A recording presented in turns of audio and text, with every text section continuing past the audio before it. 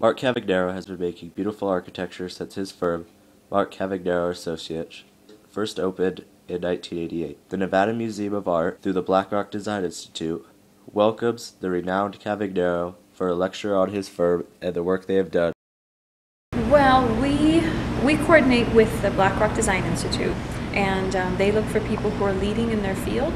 And Mark is one of those people. He's a contemporary architect out of the Bay Area, and so he was selected from a list of different contacts um, that we had along with BRDI to come out and do a presentation to share his work. And what really stands out for us is that he recently did the uh, redesign for the Oakland Museum in California and also the, um, uh, the Legion of Honor in San Francisco. So, two institutions that we respect and look up to, and also museums uh, that are quite, you know, that were on familiar territory. And so he really stood out as a, um, as a person of interest to do a talk.